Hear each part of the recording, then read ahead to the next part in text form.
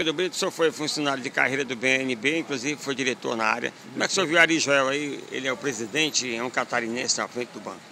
Eu acho que ele, como bancário, como oriundo do Banco do Brasil, uma instituição respeitada no país inteiro, com grandes serviços prestados à nação, tem igualmente toda a condição de fazer um excelente trabalho à frente do banco, considerando principalmente a equipe que tem o Banco do Nordeste, são técnicos de alta qualificação, é, com experiência comprovada em relação à grande missão que o banco tem frente ao, aos desafios do desenvolvimento regional. Dizem, Portanto, eu aposto num bom trabalho. Dizem que foi um desprestígio da bancada nordestina. Não, eu não considero assim, uma vez que a pessoa escolhida reúne, como eu, como eu mencionei, as condições técnicas e tem as qualificações para o cargo. Não tinha um nordestino preparado?